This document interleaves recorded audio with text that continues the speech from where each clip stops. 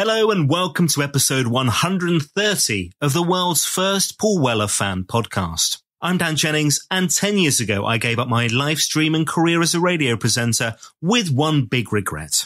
Never getting to interview my hero, the legendary singer, songwriter and musician, Paul Weller. This podcast exists purely to solve that issue. Welcome to Desperately Seeking Paul. On this episode, delighted to be joined by another huge talent, brass musician and arranger, Stewart Prosser is my very special guest. Now, Stewart is such a talent, a fabulous trumpet and flugelhorn player who played a key role in the Style Council's early years. He joined the band as an honorary councillor in 1984 for the Council Meeting Part 1 tour and stayed all the way up to the Wembley Showbiz gigs at the end of 1985. Throughout his career, he has created music in a wide range of styles. We're talking jazz, classical, pop, and it's a real delight to dig into his memories, including some very special years with the Style Council. He was such a huge part of that live sound, together with Billy Chapman on sax and Chris Lawrence on trombone. Now, sadly, Chris is no longer with us, but it was so nice to hear Stewart's memories of his friendship with Chris as well. We'll also dig into studio recordings, including songs for the number one album, Our Favourite Shop. We'll talk tours across the UK, Europe, Japan, Australia, friendships made, life on the road, and so much more. You're going to love this one. Let's get into it. Stewart Prosser, thanks for joining me. My pleasure, Dan. Quite excited to talk about this stuff. As I was saying, it's, it's been fun just uh, dusting off the memory banks. I love the fact that we're kind of ticking off so many of you that were in the band at that time as well. I mean, it's fascinating kind of hearing your stories from all kinds of different angles from everybody in the band and what was a really lovely period in everybody's lives from what I can work out, right? Oh, it really was. Yeah, it was really, it really was. And, and the more I think back on it, at the time it went in such a blink of an eye in a way. But looking back on it, the things that we did, um, sort of the camaraderie in the band, the energy, the excitement because we were all pretty young. I mean, some you know some of us were very young, weren't they? I think Steve White was about six or something, wasn't he? So, yeah, um, yeah.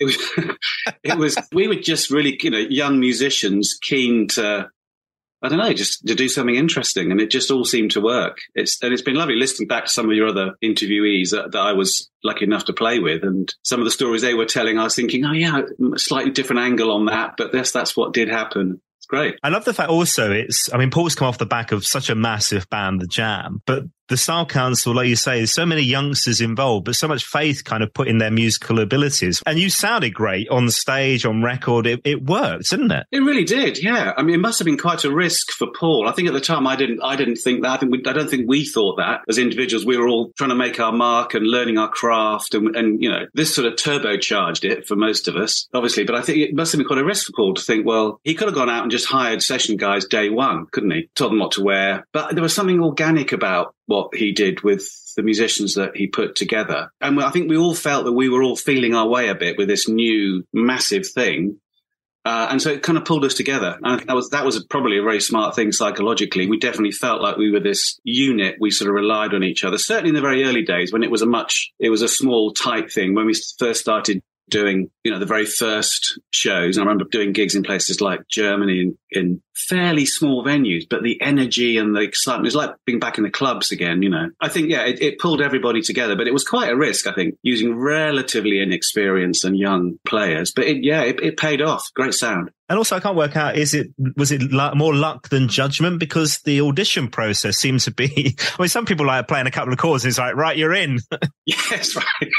Yeah, yeah. No, I had to I had to work for my sing for my supper, but not for no. Yeah, it was. I think Dennis Munday was a bit of a ringmaster on some of that too. I think Paul wanted certain musicians. I certainly remember the audition very well because you know I got the call. I think it was from Dennis, and um, was told to be a Solid Bond Studio certain times. So of course, immediately I just dug out every single Weller related piece of music I could find and tried to learn everything. So, you know, I just thought, right, as long as I can play all this stuff, you know, I should be right. And if I look all right and they get good. So I turned up at the studio and uh, met Paul and Mick and Dennis. And then Mick and I went into, I think Mick and I went into the main body of Solid Bond and Paul and Dennis stayed in the control room, and I just thought, right, I'm going to have to, I'm going to have to play. I don't know, I'm going to have to play something from the from the massive back repertoire. And Mick asked me the one question I hadn't prepared for. He said, "So, so what do you want to play?"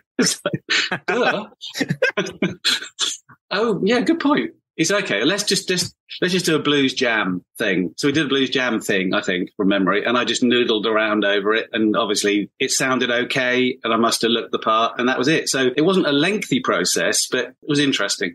And you learned what all, all the jam back catalogue, as you? Well, that they had brass in, yeah, yeah. I'd gone Yeah. back and dug out as much as I possibly could. Obviously, I'd listened to Cafe Bleu and learned as many of those parts as I could. So actually, when I got the job and we got the first rehearsals, I kind of I was all right for a bit because You've done I've the prep. stuff. Yeah. Now the thing is, the Style Council wasn't your first introduction to music, obviously, um, and and even actually being on an album. So talk me through the Hampshire Youth Concert Band. The heady heights of the brass band world. Yeah, I was a brass band trained trumpeter, did sort of up to my grade eights, and then the Hampshire Youth Concert Band. Yeah, I, I started as third trumpet, going button, button, as you do, and then That's, uh, that's my favourite bit on the album. I have to yeah, say. yeah, and you can't beat that. Uh, and ended up, luckily, in the end, being the principal for the uh, for the band. And yeah, we recorded. It was a, it was quite. Um, that's just a good point. I hadn't thought about that in terms of a recording experience. But yeah, we recorded the first. This is great. My first album at Winchester College in their lovely live hall that they have there. And so it was a bunch of very young. I don't know. God, I was fifteen, maybe sixteen. So that was yeah. I, I kind of learned my craft. Of, that sounds a bit pretentious, but learning to play in a group with other individuals, listen to them, get it right, practice, all that stuff was kind of drilled into me. I suppose in that brass band um, discipline, which is a phenomenal discipline. And then I obviously I lost my way and ended up doing jazz and pop. But Where Yeah, you're could right. have been. Hey, yeah, that's right. Yeah, yeah, exactly. I could have been massive in the brass band world, but no, What, and what was it about the love of that instrument? Was that was that the first instrument that you landed on as a kid? no. Piano was my first instrument, um, which I loved, and I'm still reliably bad at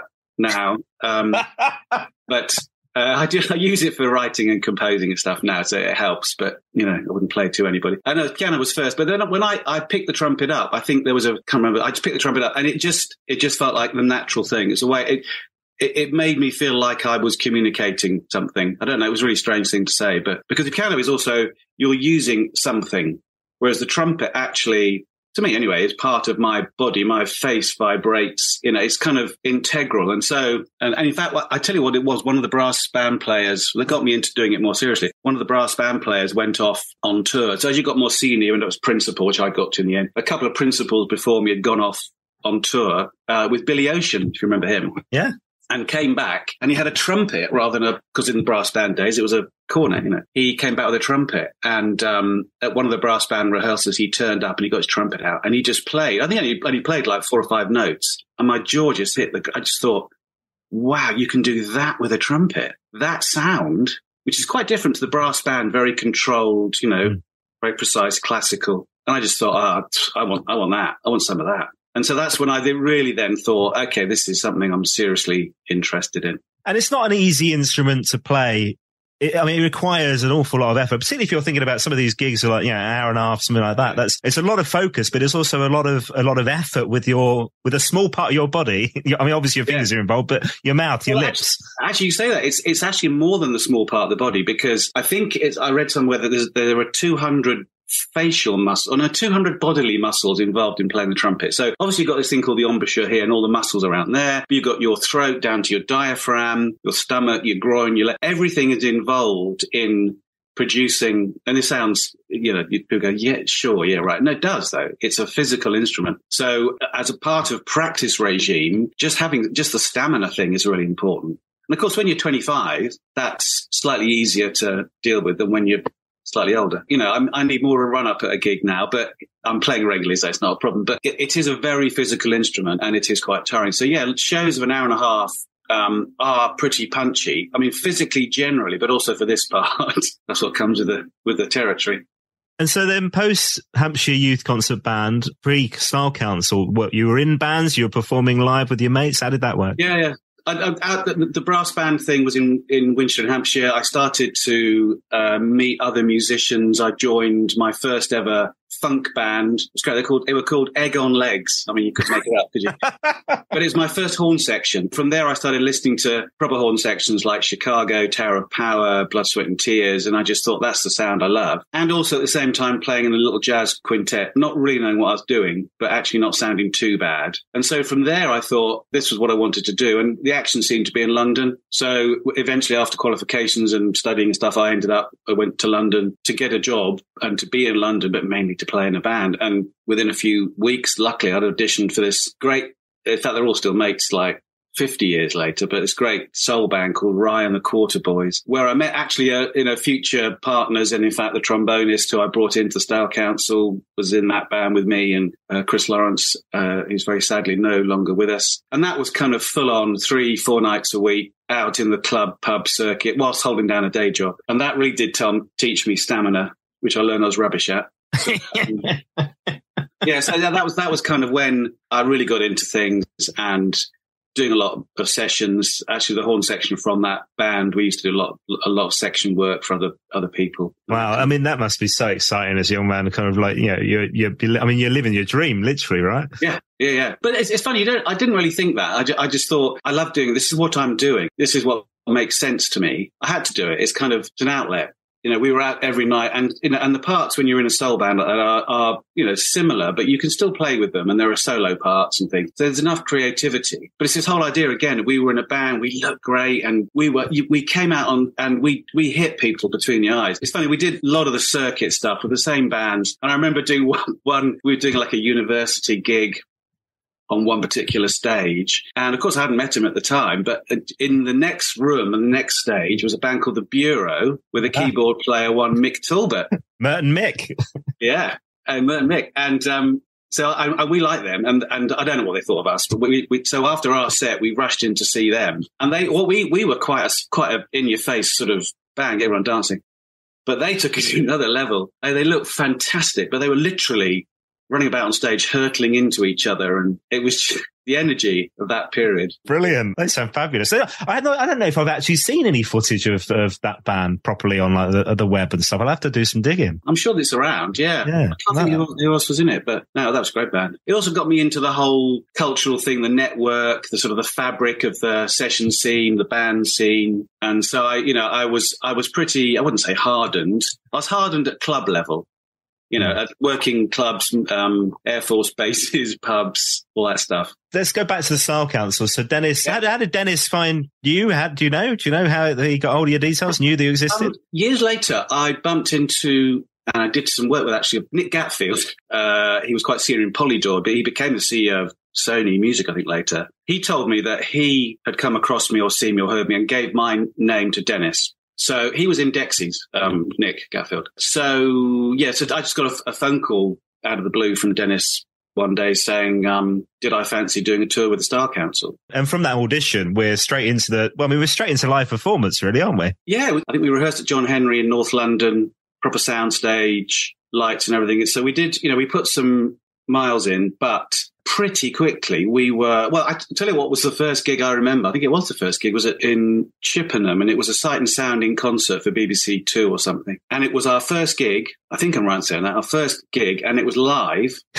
Um, and so and also um, I had extra pressure because Mick has got this great tune you might have heard of called Le Départ. And Paul had said to me, he always quite fancied having some kind of instrumental passage or melody over it. Could I give it a go? So I'd written this, um, it's quite a simple tune, but I'd written this tune over Mick's great chord changes and things. And we'd rehearsed it a couple of times. And I mean, to be honest, I played it to the whole band. And I was expecting Paul to go, yeah, that's nice, but how about this? And I, I played a rehearsal. He went, yeah, okay, good next. Oh, oh, okay, so that's happened. So, so not only did we have the first ever gig live on TV, uh, all my friends and family and people could watch, but also, you know, there came a point in the middle of the set where I had to walk out on stage, you know, on my Todd, well, no, with Mick, and do this flugel solo. I tell you, that's the most pressure I think I've ever faced. Live to the nation, yeah, on TV and simulcast yeah. on radio at the same yeah, time. Well, well, yeah, right? no pressure at all. Yeah. it doesn't sound too bad, actually. I've heard it back a, a, bit. On well, somebody's put that whole gig on YouTube. There's a chap whose name escapes me, I'll look it up and and mention at the end of the podcast in the show notes. But he's um, mm. he's like converting a lot of the Style Council performances back into like HD and upscaling them. And, wow, I'd like to and, see that and that's one of them that's now on YouTube. And oh, nice. I mean, hey, yeah, everybody looks so fresh faced and young. It's lovely. But the sound, I mean, from gig one, bang, it sounds fabulous. But the brass was always like a really key part of that sound from, I mean, from day one, even from 83 onwards. Um, yeah. it was kind of in, obviously Paul loves that sound. Yeah. You're, you're an integral part of that performance. Yeah, I think so. I mean, we certainly felt it. We didn't, I mean, the one thing I, I say about the Style Council is I never, as an honorary councillor, I never ever felt like a session player. I never was treated like one. You were treated as part of the family, if you like. That went beyond into the sound as well. I think the whole thing was the brass felt integral. It was either adding something melodically, or often it was rhythmically. It was it was saying something and driving things along. It, it definitely wasn't icing to me, anyway. It, it, it felt like something really integral. Yeah, and we we were allowed to stretch out too, you know, on tunes where there were instrumental parts with just the brass as the lead and then soloing and stuff. So it was quite an unusual sort of band for its time in that way, I think, because a lot of other 80s bands, chart bands, if you want to call them that, I hate to call it a pop band, but it's sort of, you know, we were, we were allowed to do that, to stretch out and say things as musicians uh, within you know within the parameters that were set. So some of the tunes were very straight. You did that, you know, and others you could really sort of let go a bit. And I love that about the band. In, in, in sound check, I mean, Steve White was obviously getting heavily into jazz, probably more than all, any of us in those early days before he did his solo stuff.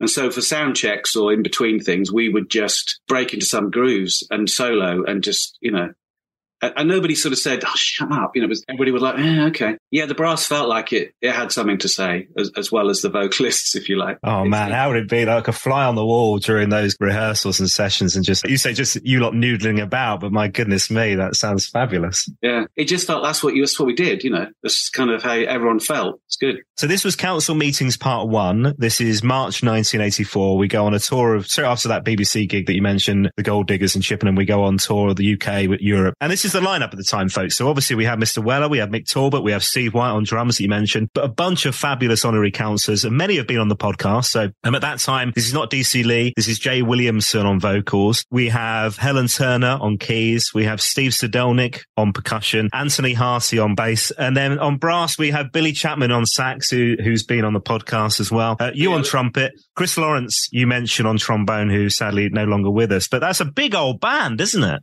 It's a big old band, yeah. And it certainly felt like a big old band when we got to some of the smaller places we played on the continent to start with. But no, it's a, yeah, it was a serious, um, that was a serious unit. and are you all on one coach? Is going around Europe? Yeah, yeah, all on one coach. And the UK, yeah, we'll pile into the pile into the. I remember actually, I listened to a bit of Guy Barker's thing, and later on, when he joined towards the very end of the sort of the horn based part of the Style Council, yeah, he he brought his cartoons along. We used to watch. We used to yeah sit and watch films. I remember watching watching Clockwork Orange on the on the coach once, which of course you couldn't get at that time. I think it was sort of a it was banned, band, yeah, banned, yeah. Someone managed to get it as they always do, and we were going to some gig. I think it was the UK, and we were playing this film, and we got to the gig, and no one no one got out of the bus because it was we were watching this film. the whole band was sat there, kind of, yeah, yeah, yeah. Wait a minute, in a minute. yeah, it was a big old, it was a big old unit to shuffle around. But you know, John Weller, Kenny Wheeler, you know, they kept us in, they kept us in line, let's say. and the European tour you also had special guest Tracie and the Soul Squad. Were you doing any double shifting? Were you part of that at all, or were you solely on the Style Council? Solely on the Style Council, but Chris and I, and I think Billy did some session recording for Tracie on a couple of her her tracks. So yeah, studio stuff with Tracie, but not not live. No, not live. No. Okay. I've only got so much lip.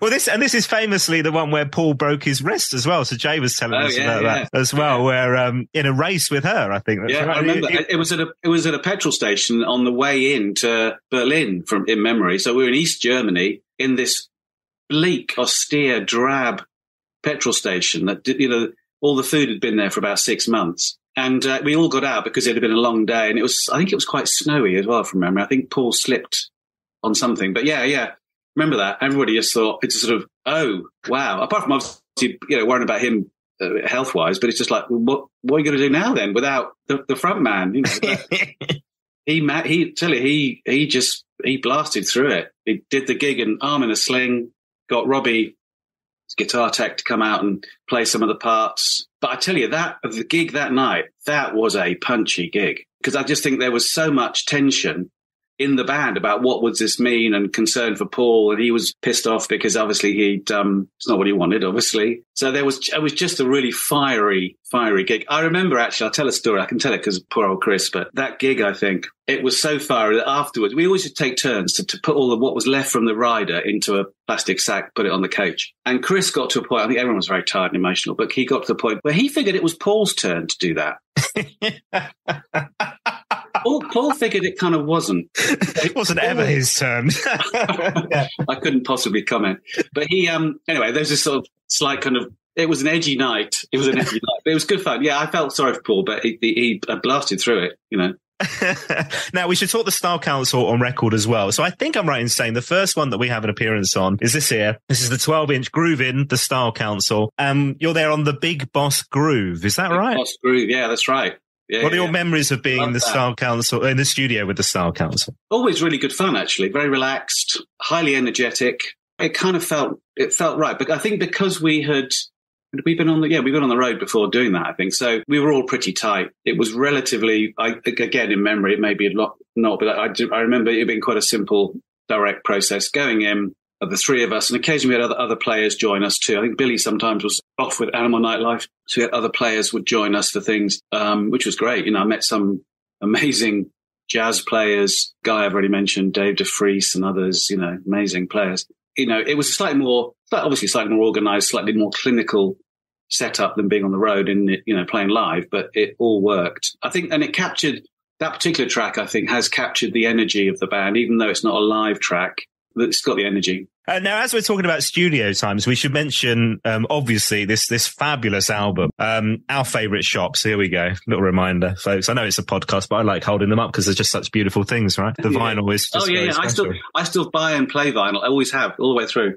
Yeah. Oh, yeah. I made the mistake of getting rid of all my vinyl for CD, then getting rid of all my CDs for MP3 because we were all told Oh, that was yeah, the future. no, don't do that. And now I'm buying it all back again at an absolute fortune. So, Yeah. uh, but there we are, uh, our favorite shop. Um, and you're on the opener of the album, Mm. Homebreakers, with that fabulous Mick Talbot vocal. And the closer walls come tumbling down as well. And I think Man, a great promise on there. You mentioned Dave DeFries as well. So he was part of that. You were kind of playing with him alongside him at that time. I, I think so on, on a couple of not live, but just some of the recording stuff. Yeah, no live. It was always well until the very last leg of the last tour um, when when we did Wembley. That had a much bigger horn section with Guy Barker, Mike Mower, etc., and string section. But up until that point, it was just really the three of us live. But yeah, but the that album did bring in other players. But it just it just felt like we'd arrived at a different place. Actually, it was it was funny. It, felt I think in retrospect, it was, co- it was a lot more sophisticated in terms of its thinking and its arrangements, and some of the, the arranging that John Mealing had written for strings and others other things were just really inspired. Great album. I mean, I just love that album. And there's so much thrown at it in terms of those production values. And the Style Council was selling, selling millions of records around that time, you know, hugely popular. But they must have been quite expensive albums to produce, I would have thought. I would have thought so because the number of, of people in the band. Absolutely right. Yeah. But Polydor at that point was standing behind Paul, and I think you know was funding that. Uh, we were touring quite a lot, so there's money coming in from that, I suppose. So I think I think it stood up economically. I think it was a number one album in the UK and a number uh, I don't know top something album, top 10, 5 in the US. So I think it was generating returns for the record company. So I'd have thought they'd have been pretty happy at the time, but I don't know the economics. And on one of the tracks, so I Man of Great Promise, flugelhorn. So we're stepping away from the trumpet. That's always been my sort of go-to second uh, instrument. I carry all always with me. Most gigs I do, it end up it ends up coming out at some point. As I mentioned earlier on, the um, you know got it first its first outing um, with the band when I played Le Départ, the, the the solo we mentioned earlier on. So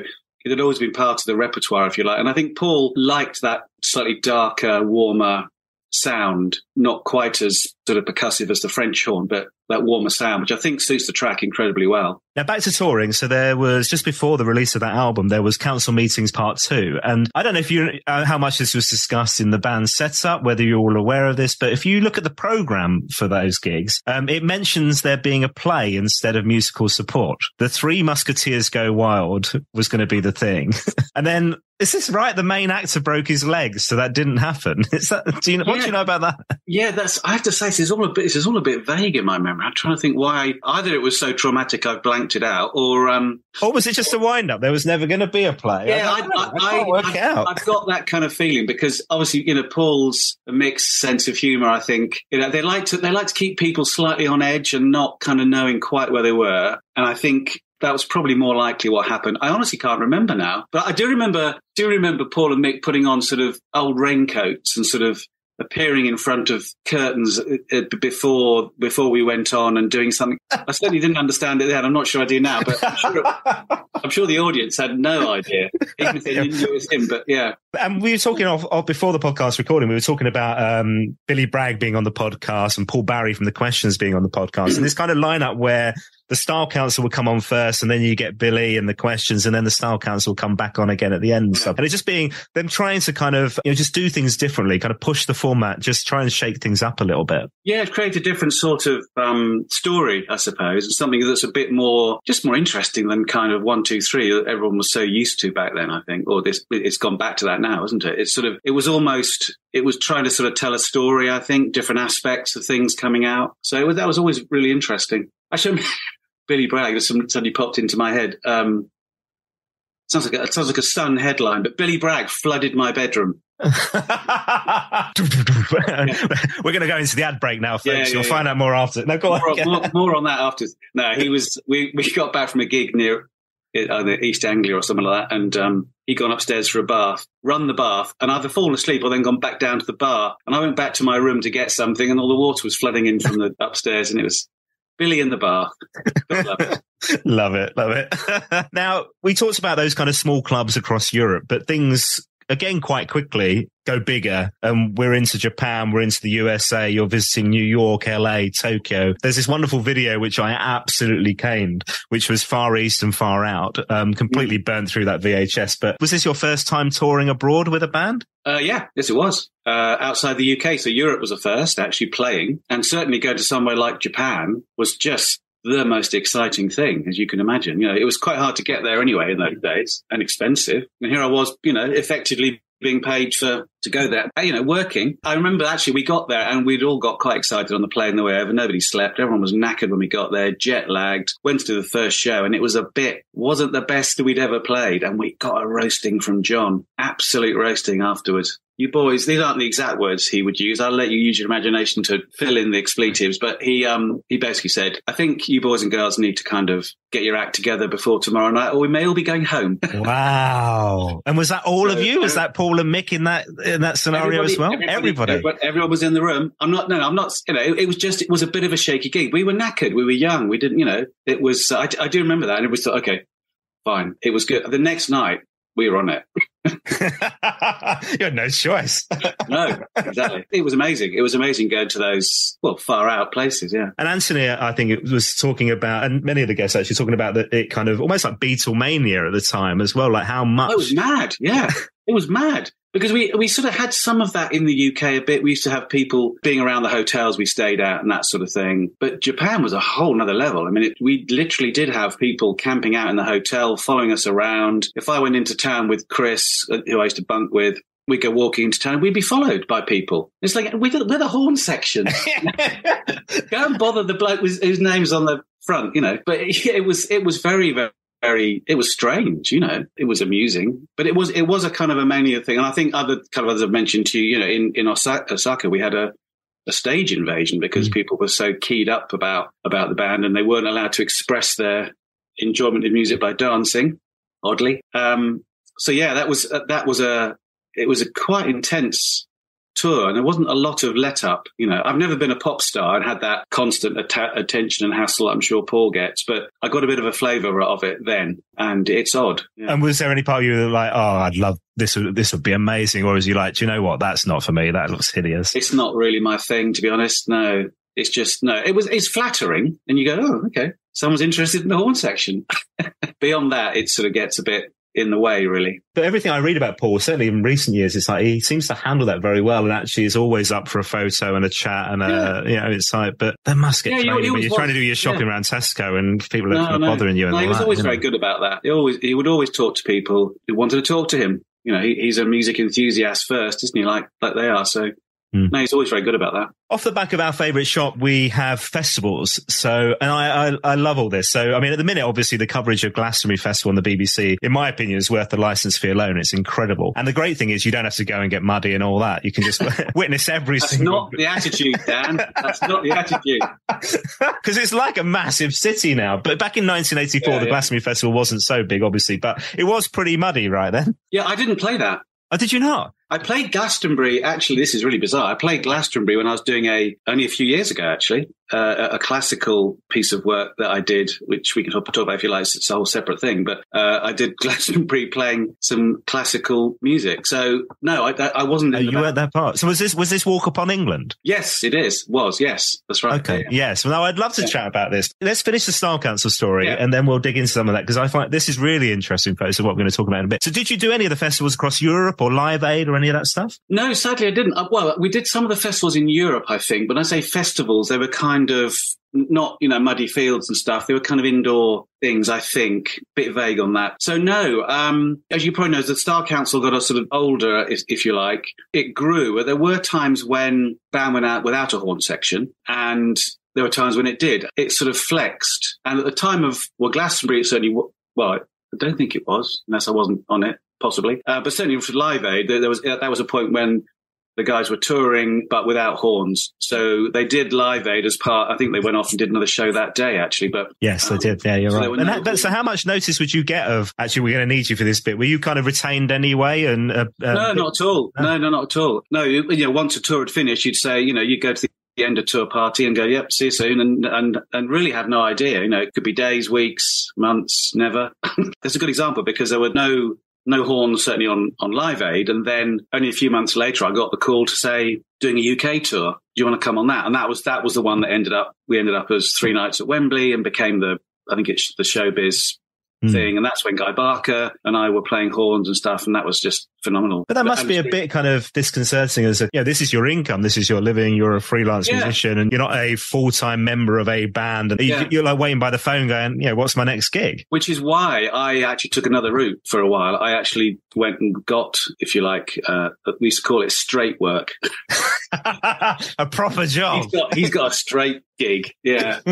After the big tours, then I would do session work and things, and that would be fine. Bits and pieces were coming, but it wasn't a lifestyle I enjoyed sitting waiting by the phone. I like to be active, structured, you know, pushing hmm. Ahead on things. And so, yeah, I, I took other work. I, I, I, then moved into a whole different field. So, which was fine. I, so I worked in corporate affairs for various big institutions, sort of ran functions, but at the same time playing, playing music is sort of, I, I did think at the time it was schizophrenic, but now I realize it's just a sort of a, a combination of left brain, right brain that's always worked for me. You know, it's kind of business problems can be jazz problems if you've got to find a way through the chaos. I don't know. And when you were working in, um, in that corporate world, I mean, how many people knew of, of the, of the, those days, the Style Council days and playing with And all that. Did you used to get quizzed about it, or did nobody kind yeah, of? Yeah, yeah, people, yeah, people did. I didn't, I didn't used to sort of advertise it, but people would because I, obviously I, I, was still playing and gigging and, and doing the odd session and stuff. People go, "What are you doing tonight?" At gigging, oh, and then it would come out. But I do remember I'd got a job actually at Chase Manhattan Bank as a financial analyst. And only like a few weeks in, I got a call from Kenny Wheeler going, look, we're doing a UK tour. I know you got this straight gig.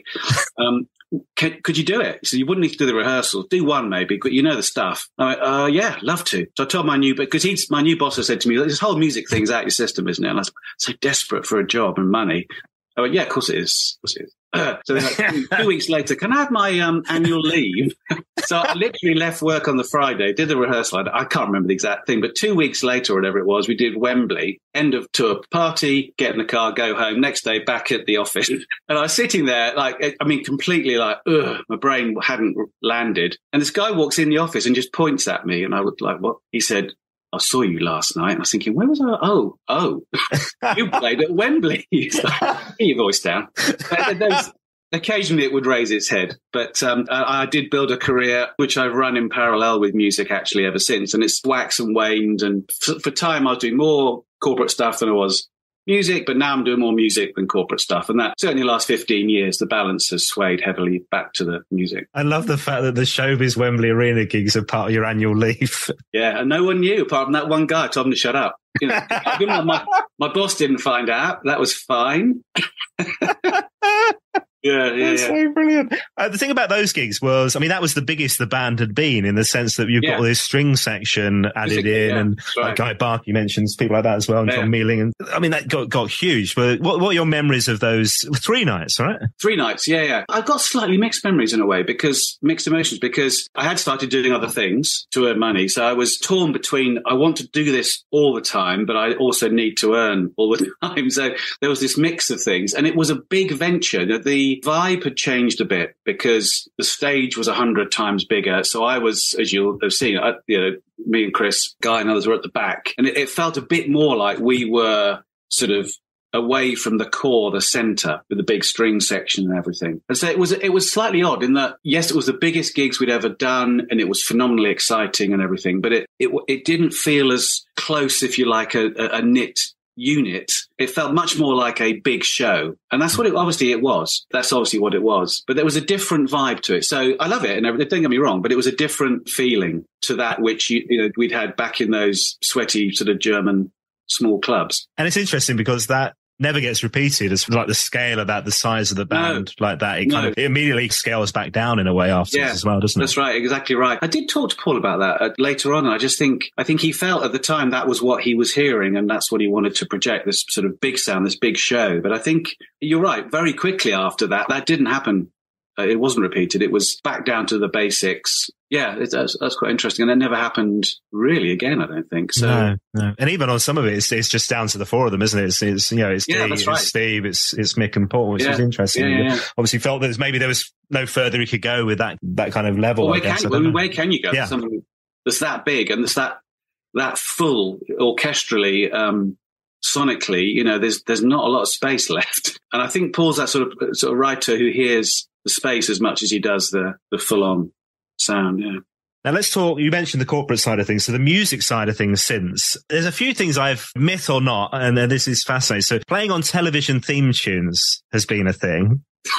Yeah, it was kind of the thing that put me off being a session player. Actually, if I'm really honest with you. Oh, I know, but one of them, every, every second counts. Is a is Yeah. a is a jingle of genius. What a banger that was! Yeah, I, remember that really clearly because it was it was in that period where I was thinking, oh, I need to get some more money. I was thinking, do I get a job or don't I? And I got a call by one of the fixers. Again, you know, the phone you have to sit there. Uh, can you pop out to is it Lime Grove or somewhere in the West West London studio somewhere? Do a session. He didn't tell me what it was. So I walked into this session room and kind of all of my session heroes were in the room. And I was thinking, whoa, okay, I've landed. You know, Mo Foster on bass. I mean, it was just a cooking band, you know. But they're all sitting around, not talking to each other, playing chess and reading books. And um, and by the way, so not derogatorily comments to session players because I was one. I thought, oh, that's interesting. Anyway, what is this thing that we're doing? Thinking we, you know, this is the new kind of, I don't know, this is the new big uh, British jazz invasion stuff. This is Ian Carr, Nucleus. We're going to be, you know, we're going to be cooking here. This is what is this thing? Oh, it's the Paul Daniels at Every Second Counts theme tune. It's like, right, okay. So um, contestant number one walks on stage. Okay, turn the page. Da da da da da da da. Next one, contestant two. walk back to start. okay. No, no, listen, I've written stuff since, I've recorded jingles since. It's fine. But at, at- at the time in my, my young brain, thinking, is this what it is then? Is this what I'm up? This is what's going to happen, is it? It just wasn't my thing. So that was one of the, one of the, my decision points in terms of, you know, of not staying in that highly competitive, obviously, session world. Yeah. Now, the London circuit isn't a thing for you now. You we were talking before the podcast, living in Hampshire, down on the South Downs. I mean, a beautiful part of the world, right? Yeah, yeah, yeah. Absolutely love it. Yeah. What was it that took you down that way? I was born in Hampshire, then obviously went to London to get the action uh, and uh, and develop everything. And then having kids, really, I think, just wanted to be somewhere other than there uh, for them to grow up and everything. So eventually found our way into uh, into Hampshire, which kind of suits because there's a great music scene down here anyway, locally. But there's also I can get in, I can be up in London and playing there if I want to quite quite quickly. So That countryside, that area of outstanding natural beauty. We talked about this project, Walk Upon England, became a kind of inspiration for the, that creative project. So tell me about this this meeting with Damien, Damien Montague. Damien Montague, yeah. Damien and I were um, actually. There's another friend of ours who's um, uh, Hugh Bonneville, the actor. Oh, yeah. We all live locally, and there was a bunch of us dads who used to meet once every month in a pub in a local village, just because that's what we could do. You know, it was kind of boys' night out. And I, so I met um, Damien and Hugh and a few other people there. Really eclectic bunch of people. It's fantastic. I met Damien then. He was, he and I got talking and he, great composer. He'd been doing a lot of TV and advertising and film work and he'd written music for the, the Dome, if you remember that from, oh, yeah. um, yeah, yeah, all yeah. those years ago. He'd written a quiet zone piece for the Dome, Dome, I think. Talented, talented guy. And we got chatting and he had got some ideas for some compositions that came to him while he was walking dogs on the South Downs. And he heard them as brass lines. And so he and I just got chatting and we thought we'd be nice to do something together. He asked me to collaborate with him on this, on these ideas. So we took the melody ideas that he was having and he's got this wonderful studio that's in the South Downs and orchestrated with a friend called Rob Sword. We, we put it all together and we, uh, using the, the wonderful, um, Tippett quartet, string quartet. And I got a couple of brass friend players into play as well. And it was just a lovely, lovely project that just was organic and grew out of Damien's compositions. Uh, and I wrote some brass parts and things. And we felt that it needed some words on it to sort of bring it to focus. And we were talking to Hugh about the project over a beer one night and he, we said, I suppose you fancy reading some poetry on it, do you? You know? And he said, well, actually, I quite like the idea of writing some stuff for it. And we just thought, this could go either way, you know?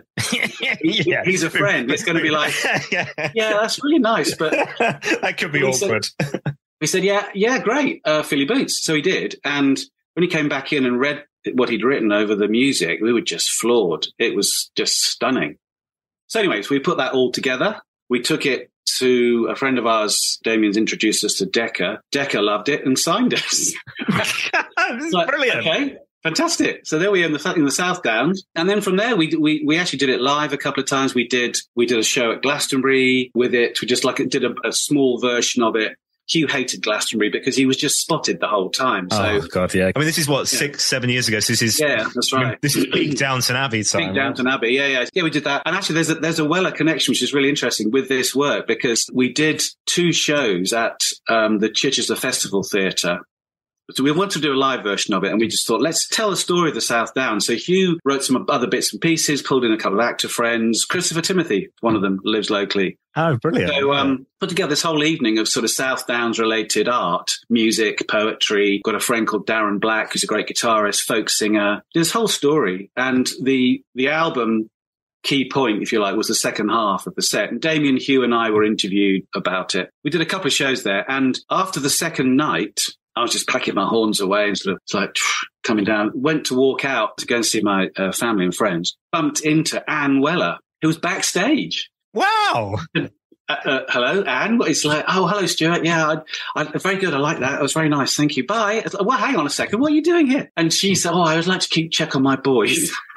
oh. That. I thought, wow, after all those years, I had kept in touch with her and Nikki actually, primarily over the years. Nikki had kindly invited me and my son, Luke, who's a musician, backstage for certain things over time. And we, so I'd kept up with Anne a little bit. But she showed up at the festival, the festival theatre. And so we had a lovely chat. And um, she said, yeah, all right, bye then. Nice to see you. And off she went. So there was a sort of, that brought the sort of, I don't know, there's something sort of fatalistic about it. It was like, okay, I'm doing the right thing because here's something from my past, this connection that has worked. So yeah, it was a lovely, it was a lovely period doing that. We did a second album after that without Hugh, without the words. In fact, the first album went to, I mean, it makes me laugh when I say it, we went to number one in the classical charts, you know, and, yeah. and the single, the banging single of it, which, you know, The Path Towards Tomorrow. Yeah, very pastoral. Got to number one, you know, for about 30 seconds. I think we probably sold five copies in the classical, in the classical world. That's all you need these days. Yeah. Yeah, exactly. Yeah. Oh, that's a lovely, lovely, lovely yeah. story, man. That's brilliant. Yeah, yeah, it's fun. So, what's now? What is, is there any more to come from that, or have we exhausted the South Downs? Um, well, Damien and I were thinking about this the other day. Actually, we would someone had asked us to do a sort of a charity-related gig to raise funds for something or other, which we which we said we'd do, but it hasn't actually worked out. So it's still there. We still want to do a little bit more with it. It's got such a lot of legs. We've got ideas to take the scores, and I'm quite keen on brass education for young kids to help them understand why it's important to learn scales, which are not always the most obvious things to want to learn. So we're thinking about developing a sort of a, musical education side of that. So that will continue. I've now take over the last few years taken to sort of writing my own stuff. So I'm actually about to organize a studio session with some collaborator friends of my own stuff, which is it's, it's quite sort of trumpet noir. I could think of it's a bit sort of if you know the theme tune for Homeland, sort of Sean Callery type. It's that kind of thing. So I'm just about to do that which is great. But uh, talking about local musicians here, so I recently hooked up with a guy called Jody Smith, who used to play, done the odd gig with Van Morrison, who's locally. And also I got quite a, an interesting collaboration going with Culture Club sax player, Steve Grainger from back in the day, who lives just down the road from me too. So he and I are working on quite an interesting sort of jazz meets classical thing at the moment, which we're about putting together. But one thing that again pulls the whole council thing back into focus, which is quite interesting and has come up very recently. About a few years ago, Anthony Harty asked me to do a, a gig launching his album in Coventry. And so I went to do that. And he said, do, do, do a few council numbers. And it's a great band, actually. Had Horace from Specials on bass and some other guys. And Hilary, Hilary Seabrook, or Robertson as she was in the first band, in the Cafe Bleu band. I'd never met her back in those days. So we got chatting, you know, and we kept in touch. And recently she said to me, I'd like to do some stuff. Why don't we get together and look at doing some stuff. And so you're the first person we've told this. I've told this actually, but literally the last few weeks, we put together the C, the Prosser Seabrook project. Wow. Um, and we're working on some stuff. It's quite, it, I'm really excited about it. We both are because she's playing baritone. So it's, it's got a kind of Gerry Mulligan meets Chet Baker. I if you know any of those albums, the, the Mulligan Baker albums, that sound, which is this sort of glorious low Barry and the, and the trumpet. We just started writing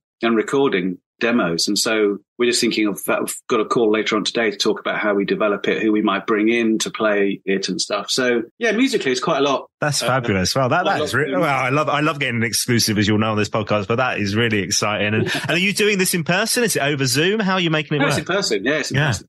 Yeah, yeah. I've got a setup in, in, my house where we can we can do all that. So Hillary's been down a few times, and the bizarre thing, even more bizarre, she used to live in the town I live in. Your town sounds like Stella Street. Do you remember that TV show? Oh yeah, that's right. yeah, that's right. Yeah, I'm not sure Michael Caine is twitching the curtains. Was that? The no, maybe not. Maybe not. No, I mean there really are. There's there are loads of. Um, I think Noel Gallagher lives in a couple of villages along. Uh, Adele bought a house not that far. I said to Damien, you should go around and offer a cup of sugar or something. You know, does she need any milk? You know. oh, by the way, I've got by the way, I've got a studio.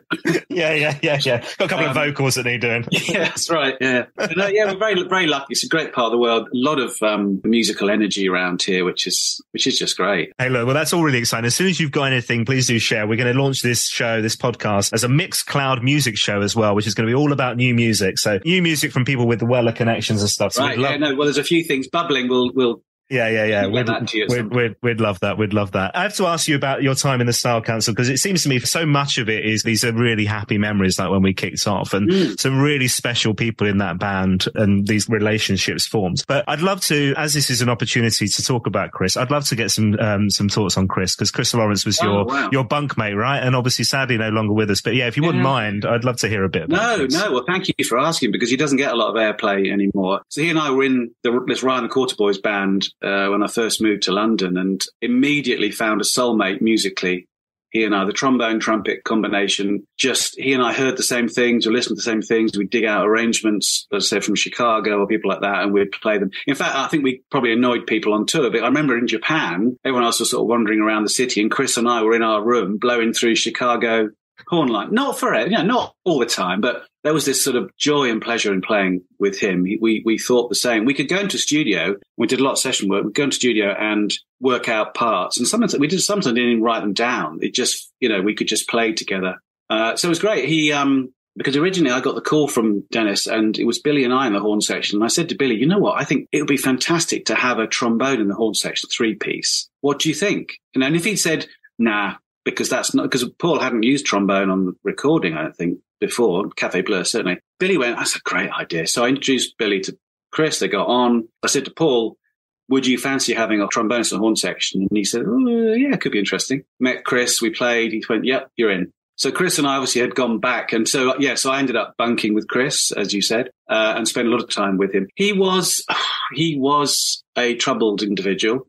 He had had quite a difficult childhood. Um, and uh, that represented itself in different ways over the years. And he struggled with drinking and drugs later on, but he was just this superbly talented, energetic, focused musician. And when he was on, no one could touch him. You know, I mean, really. Uh, but like I said, that story on about him sort of squaring up to Paul, that's just him. You know, it was, you got all, he was either full on or full off. You know, it was kind of, Uh, and I, I, I, loved him. He, he, was, you know, he was not an easy person, but we were friends for a, a long time, and he went through loads of ups and downs. I think it didn't help after the Style Council he joined the Stranglers, which, which is probably probably not a band known no. for its afternoon teas, you know. but um, what was lovely actually was uh, after Chris passed away, his family got in touch with me and said, "Would I come and speak at the um, at the funeral?" Which I never expected, and so I did. And I said to him, "I can tell some stories about his musical background because most of his family had only seen him in his troubled later years. And he was still playing, he was doing a lot of jazz work and teaching and stuff in, in around Watford, but he hadn't really talked about his past at all. So at the at the funeral, it's a bit weird. It, his coffin was right there, and it was really upsetting. But um, I told some stories. I mean, I told that one about Paul and him squaring off. I told the stories about other things that we got up to in the bands and things. But primarily, I told them about what he had done, what he'd achieved, because I know that his family had found him so so so tricky later on, and loads of his nephews and nieces were there who knew nothing about any of this stuff at all. And so I tell them this, uh, the stories, and afterwards they all came up to me and said, "We we didn't know Uncle Chris did that. He played in Dexy's Midnight Runners. He, which he did do before before the council. He played with you. He played in the Stranglers. He did this and that. And, the, and uh, yes, yeah, you know, they didn't know. Wow. So it was lovely being able to sort of bring him back to life for them. And in fact, on the way home, my wife and I, at least, were sat in the car next to me, googling on YouTube all the links from the Style Council stuff and bits and pieces, and just emailing it to his nephews and nieces who had no idea they had no idea. So it was lovely kind of bringing his memory back. But I do miss him to this day. I mean, I've worked with some great trombonists, but he's still the best. Oh, thank you for sharing that, man. That's lovely. Hey, look, this has been such a delight hearing your stories and chatting with you. I've got I've enjoyed fun- it. It's been such good fun. I just, oh, just tapping into those memories it makes me want to pick up the phone to everybody again and say, let's go for a beer. You know, it's a yeah, no, I do miss them. They're, they're a good bunch of people. It's funny because I was only recently, I found all my um, memorabilia stuff, redecorating the, the, the, house. I wanted to put some black and white pictures and frames up on this wall. And it was my, my wife's idea. She said, why don't you dig out your style Council stuff? You never talk about it. You never kind of show it off. All right. So I dug it out and, and actually there's some lovely stuff, some programs that Mick and Paul had signed bizarrely. Maybe I was going to give them to a friend or something, but I've still got them. T- shirts um, backstage passes, all sorts of are wicked. Oh, and loads of photographs that I'd taken or I'd given to someone like Dave Liddle, who was Paul's roadie to take, or Kenny they'd take from the side of the stage. You know, I've got loads of these photos. I've got I've got a photo of us. It was us locked in the um in the waiting room of the station in Osaka because we got a police escort out of town after you know, and there's all of us like a football team lined up. So I've got loads of photos like that, oh, which is brilliant. great. I found all this memorabilia, which is again only in the recent months. It's so funny all these things have been happening. It's just you know with keeping in touch with Nikki over the years, but then Anne turning up at the show I did, and then the Hillary connection, then yeah. you getting in touch and me finding Miss Memorabilia, and it's very odd. You know, it's in a nice in a nice way. Now, look, this has been, yeah, so lovely. Thank you so much for coming on, Stewart. Really appreciate you telling your stories. I got two final questions for you before you go. So you're allowed one Paul Weller song for the rest of your life. It can be the Jam, the Style Council or solo. I don't even know if you're a fan of the Jam or, or Paul Weller solo, but you know, it could be those or it could be the Style Council. Interesting question. I, I actually think I'd have to go for You're the Best Thing. And I'll tell you, I tell you why, because it was actually, it's a great, it's a great song. Of course it is. But, um, when my wife were planning our wedding, I didn't realize, but she loves that song, loved the song. So we decided it would be our, the first song that was played for our slow dance, you know, after yep. the, after the ceremony. So got it all lined up. Fantastic. Great day. Lovely wedding, blah, blah. I got to the thing, said to the DJ, you can put the record on now. And he went, Oh, I've left it at home. we had to dance to Endless Love by Diana Ross, which is not the same, I can tell you. But actually, interestingly, she does have the, the words "You're the best thing" inscribed on her, the inside of her wedding ring. So uh, I haven't told anybody that before either. Oh, brilliant! I mean, wedding DJ, you've got one job, man. Come on. But also, he'd been, i I'd known this guy for hundreds of years. He used to, when, when this other band I was in, in London around quarters, he would be our DJ, you know. So he knew me back to front. It's like, ah. Maybe the pressure got to him. Who knows? Maybe, yeah. and look, final question. So the purpose of this podcast is, I mean, really, it's to hear all the stories from amazing people like yourself about your careers and your, your links with Weller and, and all that. But I got to be honest, the reason we started it is for me to get the interview with Paul Weller that I never managed during my radio career. If it happens, what should I ask him? I've heard some of the questions. I, I, I, think about it. I think, I think, I, okay, I'd ask, I'd, I'd say to this, Paul, Mayfield or Marriott? Oh, And I'm not talking. I'm not talking hotel groups. it took me a while to work out for a split second. I was like, "Oh yeah, yeah." No, as an influence, Curtis Mayfield, Steve Marriott, because you because I just I don't know. I just I just would love to hear his his thoughts on that because I think those two, from an influence perspective, they're just you can hear so much of both of them in his stuff, and I'd just be interested to know which way he would lean. And there was the Curtis Mayfield connection with the Style Council, wasn't there? He mixed one of the tracks on the Cost of Loving LP. Yes, that's right. But yeah, that's a great question, man. That's cool. I must write all these down, you know? well, hopefully you've recorded them, haven't you? I know, but I've now got to listen back to every single podcast because I'm so stupid. Oh, yeah. I've not read a oh, note. I see. Yeah, yeah, yeah. what an idiot. When you do get to meet him, you're gonna you're gonna be so your, your head's gonna be so full of like 400 questions, you probably won't get one out. You know. Yeah, well, that's the thing. It's also like I, I won't need any of my own questions because I've got all yours. No, exactly. Brilliant. and if he doesn't like the question, I can blame it on you lot. You see? Yeah, that's right. Yeah, yeah. I'd never, I would never have asked that, Paul, honestly. Stewart, thank you so much for your time. Do keep in touch. Let us know what's coming next, and Would we will to. share on the social media and all that. But thanks so much for joining me, man. Thank you, Dan. I've thoroughly enjoyed it. It's been really lovely channeling that period again and talking to you and meeting you too. Thank you. My thanks once again to Stewart Prosser, another brilliant honorary councillor, the Style Council, an incredible brass musician and arranger as well. Check out the show notes for this podcast on my website, paulwellerfanpodcast.com. Lots of links on there to songs, a playlist, details about what he's been doing more recently as well. paulwellerfanpodcast.com. And whilst you're there, you can show your support by heading to my store, exclusive merchandise in there. Plus you can sign up by a virtual coffee as well, a one-off or a subscription. We love it all. On the roll call this week, my thanks to Andy Kay, who says always a great listen. One day you might get to interview Paul Weller. Smiley face. Thanks, mate. Hi to Steve Perry. Cheers to you for your virtual coffee. Hello to Peter Cook. Thanks as well. Hello to Mark from Perth in Western Australia, who says, been here from the start. Love all the guests. It can't be too long, Dan, before you get the interview with the great man. Well, fingers crossed, Mark. You never know. Hello to Andy Tolcher. Thanks for your virtual coffee. Hi to Martin Morrow. Hello to Brian G.